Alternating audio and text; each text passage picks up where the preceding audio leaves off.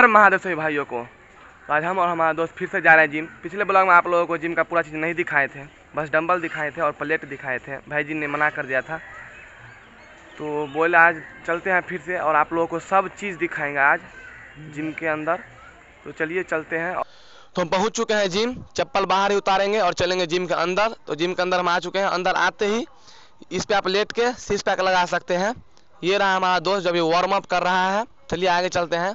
ये बाइसेप का मशीन है और ये चेस्ट का मशीन है। और इधर है डंबल, पाँच छः सात, आठ, नौ, दस, पंद्रह तक का डंबल है। ये रॉड है और ये प्लेट है।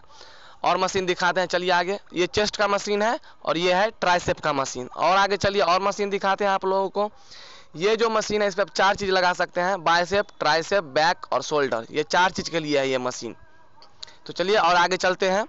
इस पे आप सिक्स पैक लगा सकते हैं और ये रनिंग के लिए, जो कि काफ़ी ज़्यादा ज़रूरी है और हर जिम में होता है। तो चलिए अब चलते हैं अटेंडेंस बनाते हैं। अटेंडेंस बनाना इसलिए ज़रूरी है क्योंकि अटेंडेंस से पता चलता है कि आप अपना सेट कितने घंटे में कंप्लीट करते हैं। तो ये रहा पहला वार्म अप जो कि पुशअप्स है।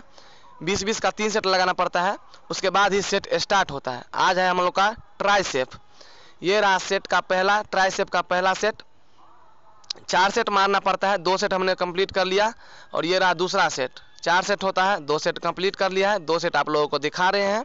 उसके बाद अटेंडेंस बनाएँगे। एक घंटा में हम लोगों का पूरा सेट कंप्लीट हो चुका है। तो अभी हम लोग जिम के बाहर आ चुके हैं और अभी हम लोग जा रहे हैं घर। आज हम लोगों का ट्राई सेप था तो चलिए चलते हैं घर। और ऐसे मज़ेदार वीडियो देखने के लिए चैनल को लाइक करके सब्सक्राइब कर लीजिएगा। मिलते हैं आपको नेक्स्ट वीडियो में।